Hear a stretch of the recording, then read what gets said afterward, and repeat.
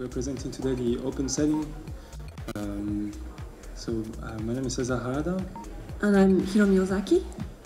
So first we're going to explain what, what open sailing is. And um, in three, it's a big project, but if you have to make it in three sentences, open sailing is a collaborative open source framework for producing research, engineering technology, and actual construction for living on the ocean. And because it's an open source project, there are many, many agendas in open sailing. But one of the main agenda is to create the International Ocean Station, which we're going to explain later. And we'd like open sailing to be a platform for research in technology, biology, or social aspects. So that's open sailing in three sentences. Like the points are independent, small living units. So the working city is not one big thing, but many smaller things. In summary, um, Swarm Operating System is, instead of total solution, is fragmented solutions. Instead of being mobile, it's more transient. And instead of being groups, we live more as swarms. And instead of having rigid cities, we have emergent groups, emergent cities. We looked at what you need to have if you want to go on the sea. And so you need to provide yourself with a shelter.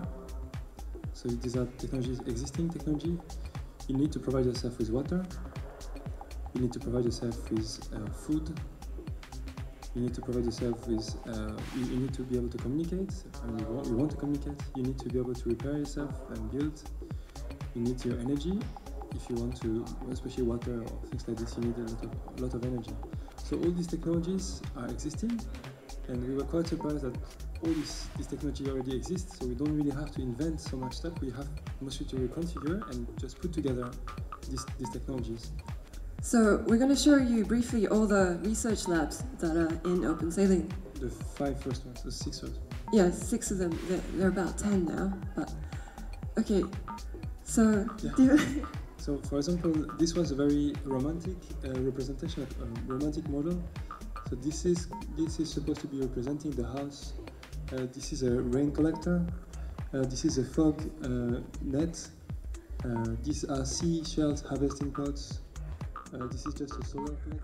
The energy animal, we're trying to do research on how to make um, devices that creates energy from wind, sun and waves on the ocean. If you want to live on the ocean, stay for a long time on the ocean, you need energy.